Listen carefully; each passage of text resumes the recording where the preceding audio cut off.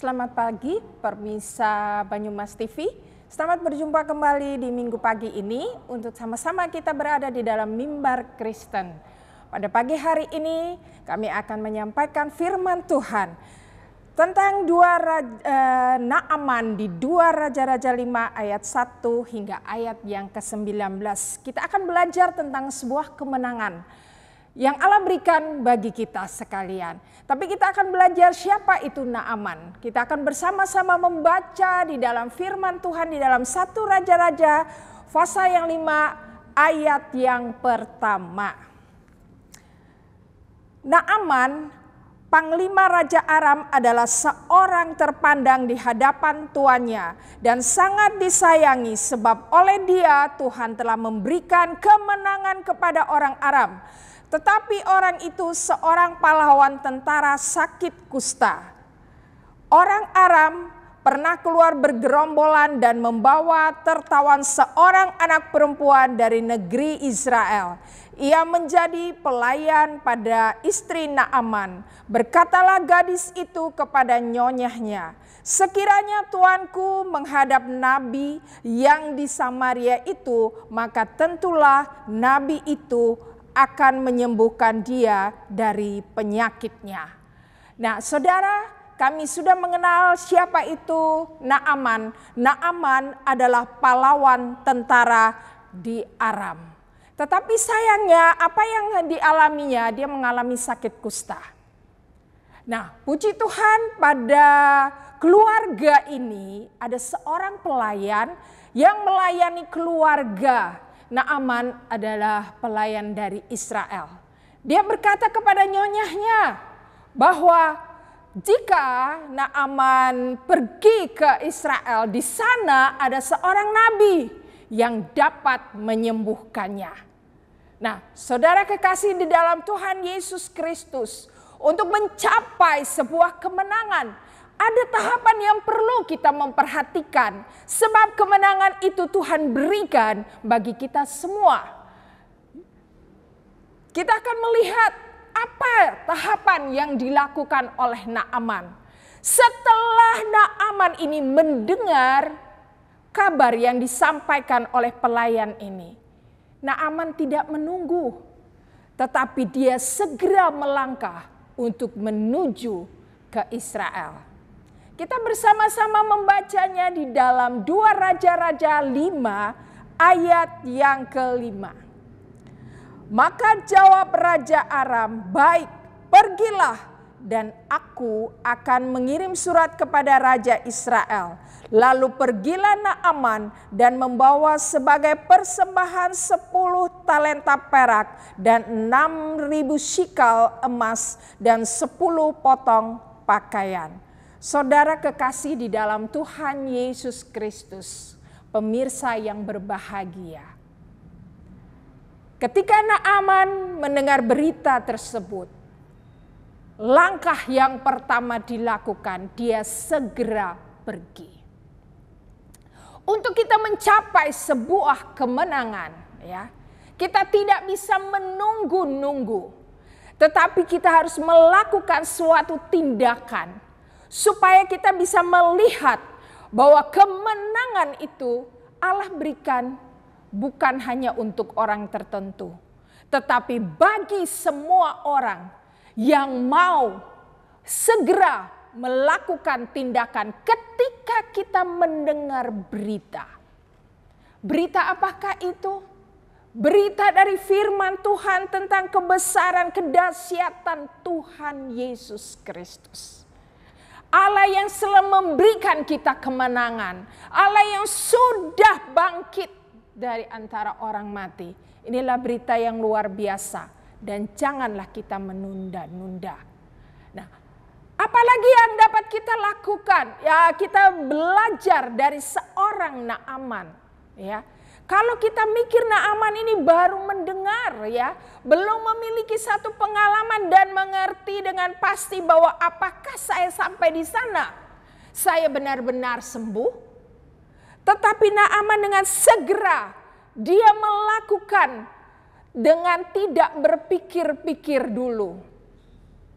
Nah, saudara kekasih di dalam Tuhan Yesus Kristus, selanjutnya kita bisa melihat apa yang dilakukan oleh Naaman. Kita dapat membacanya di dalam dua raja-raja pasal yang kelima ayat yang ke-10. Elisa menyuruh seorang suruhan kepadanya mengatakan, Pergilah mandi tujuh kali dalam sungai Yordan, maka tubuhmu akan pulih kembali sehingga engkau menjadi tahir. Ketika langkah yang pertama, Naaman langsung pergi ke Israel dan berjumpa dengan Elisa. Yang kedua, yang kita lihat bahwa ada perintah dari Elisa Pergilah mandi dalam sungai Yordan maka tubuhmu akan pulih kembali sehingga engkau menjadi tahir. Pergilah mandi tujuh kali ada perintah. Saudara kekasih di dalam Tuhan Yesus Kristus, pemirsa Banyumas TV yang berbahagia. Perintah setelah melangkah setelah Naaman pergi, langkah yang kedua memperhatikan perintah. Banyak kali kita melakukan eh, kesalahan di dalam hidup ini karena kurang memperhatikan perintah dengan benar. Tetapi saat ini dalam kisah Naaman ini kita belajar untuk memperhatikan perintah dan memberi respon kepada perintah itu. Apa yang kita lihat ketika Naaman setelah mendengar eh, setelah mendengar perintah itu Naaman gelisah hatinya. Pemirsa TV yang Banyumas TV yang berbahagia, saat ini kita akan melihat iklan selanjutnya.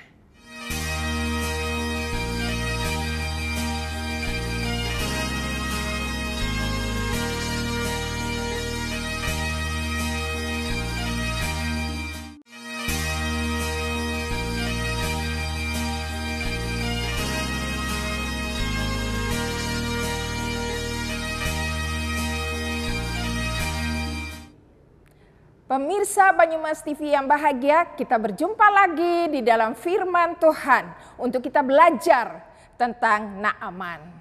Nah, ketika Naaman mendengar perintah, ya, kita melihat responnya. Kita melihat di dalam ayat uh, dua raja-raja lima ayat yang ke-11. Tetapi pergilah Naaman dengan gusar sambil berkata, Aku sangka bahwa setidak-tidaknya ia datang keluar dan berdiri memanggil nama Tuhan Allahnya.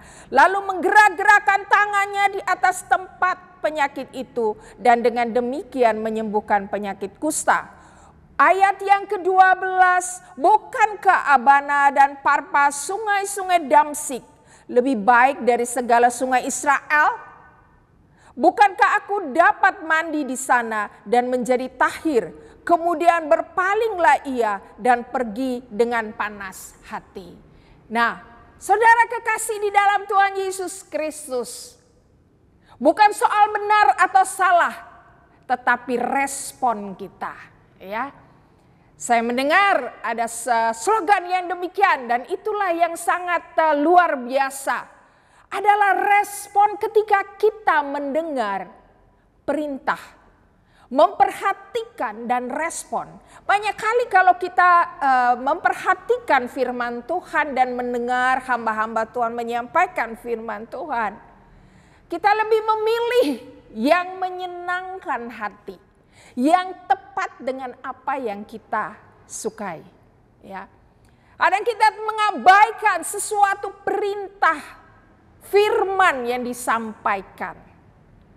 Tetapi saudara kekasih di dalam Tuhan Yesus Kristus, sebaiknya berilah respon yang baik terhadap firman Tuhan. Siapa pun yang menyampaikan, maka kita akan melihat hasilnya luar biasa dalam hidup kita. Yang ketiga adalah yang kita dapat memperhatikan di sini adalah pada ayat yang ke-13. Tetapi pegawai-pegawainya datang mendekat serta berkata kepadanya, "Bapa, seandainya nabi itu menyuruh perkara yang sukar kepadamu, bukankah Bapa akan melakukannya? Apalagi sekarang ia hanya berkata kepadamu, mandilah dan engkau akan menjadi tahir."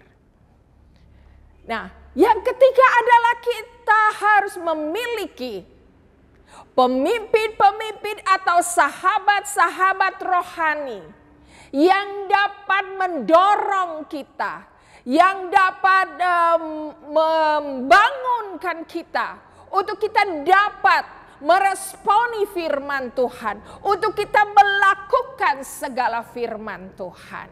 Saudara sudah melihat kisah dari Naaman ini? Bahwa dia sudah gusar hatinya. Dia mau pulang kembali ke tempatnya karena dia melihat sungai Yordan tidak seindah tempat di mana Naaman tinggal. Saudara kekasih di dalam Tuhan Yesus, ini yang kita alami dalam kehidupan kita. Seringkali kita pergi meninggalkan apa yang Tuhan perintahkan kepada kita. Kita abaikan apa yang kita dengar. Kita tidak melakukannya. Tetapi jika kita memiliki pembimbing-pembimbing rohani, jika kita memiliki teman sahabat-sahabat rohani, mereka itulah yang dapat menopang, mendorong, membangun, mengkuatkan kita untuk kita melakukan firman Tuhan.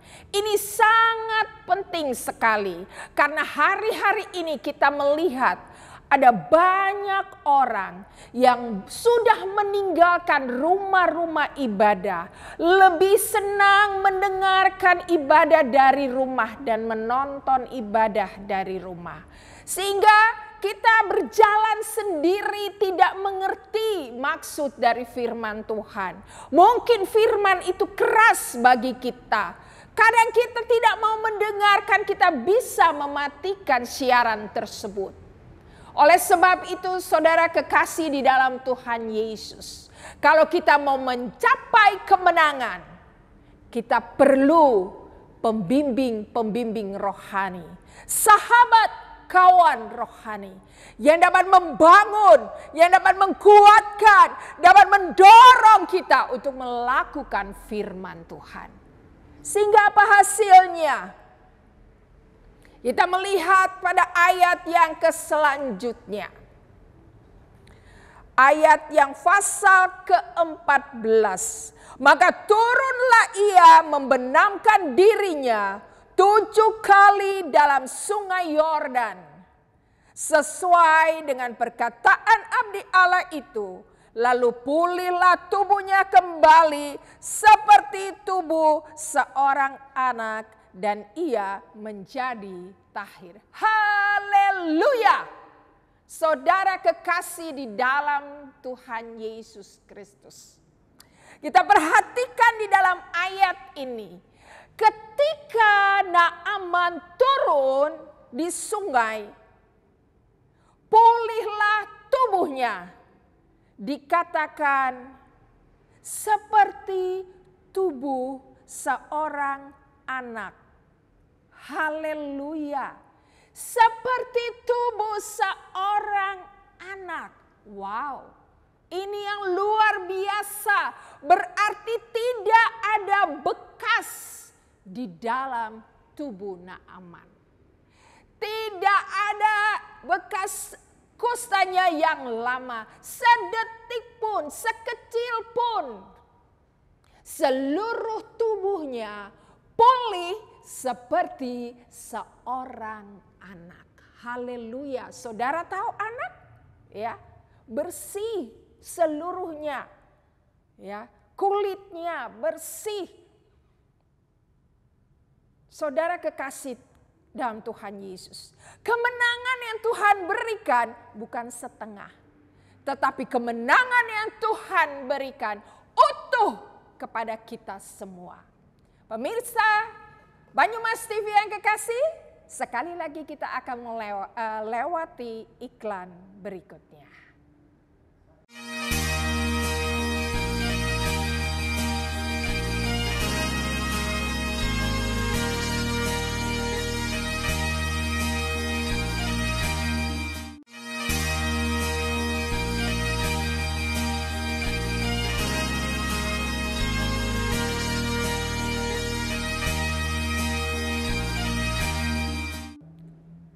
Kita berjumpa lagi, pemirsa Banyumas TV yang bahagia.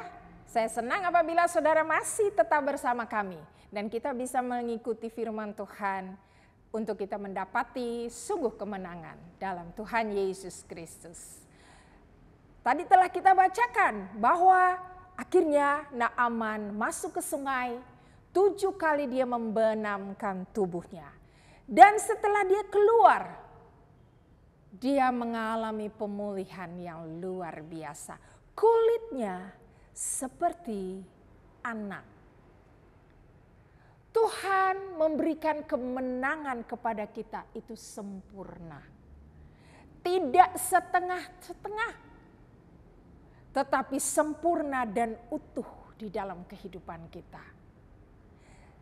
Pada saat ini, ya, yang kita hadapi pada hari-hari ini, semua orang akan uh, semua orang sedang menghadapi banyak masalah yang kita hadapi. Bukan hanya kita yang ada di Banyumas, tetapi bahkan sampai seluruh dunia. Tetapi saudara firman Tuhan pagi hari ini bukan sekedar catatan, ya, bukan sekedar sebuah kisah, tetapi firman Tuhan pada pagi hari ini datang kepada Bapak, Ibu, Saudara kekasih di dalam Tuhan Yesus. Karena Tuhan Yesus mau memberi saudara kemenangan. Baik saudara yang berada di rumah sakit yang saat ini mungkin sedang menonton acara mimbar Kristen di Banyumas TV. Saudara harus lihat dan tahu bahwa hari ini kemenangan Tuhan berikan kepada saudara Bukan hanya seperti Naaman, uh, seperti Naaman Tuhan sudah memberikan kesembuhan baginya. Saudara pun Tuhan akan berikan kesembuhan. Keluarga besar Banyumas TV pada pagi hari ini. Saudara yang berbahagia yang sedang menonton pada pagi hari ini. Firman Tuhan juga datang kepada saudara untuk memberikan kemenangan Engkau tidak sendiri dalam menghadapi persoalan kehidupan ini. Tuhan ada bersama-sama dengan saudara dan pagi hari firman Tuhan ini diberikan kepada saudara untuk memberikan kemenangan. Untuk menjadi satu kesaksian kehidupan bahwa saudara tidak sendiri. Janganlah cepat kita berputus asa. Oh Tuhan itu hanya bekerja pada samanya ketika dia hidup. Tidak saudara, sampai hari ini Tuhan masih bekerja dengan kuasanya. Pada masa Naaman dia berjumpa dengan Nabi, Nabi Elisa. Tetapi hari ini Saudara tidak berjumpa dengan nabi, tetapi ketika saudara meresponi firman Tuhan, ketika saudara mendengar kabar tentang firman Tuhan, saudara datang mencari Yesus. Saudara datang untuk mendengarkan firman Tuhan, untuk mendengarkan berita firman Tuhan, untuk melakukan firman Tuhan. Maka saudara akan melihat bahwa Allah akan bekerja memberi saudara kemenangan. Jangan cepat putus asa, jangan cepat langsung melangkah bunuh diri dan melakukan hal-hal yang membinasakan kehidupanmu. Tuhan masih ada. Yesus masih ada hari ini dan jangan keraskan hati kita, ya. Ketika Naaman mendengar disuruh turun tujuh kali, hatinya gusar. Tetapi hari ini saya mau katakan kepada saudara, firman Tuhan datang kepada saudara. jangan keraskan hatimu. Jangan bersungut-sungut, jangan mengeluh.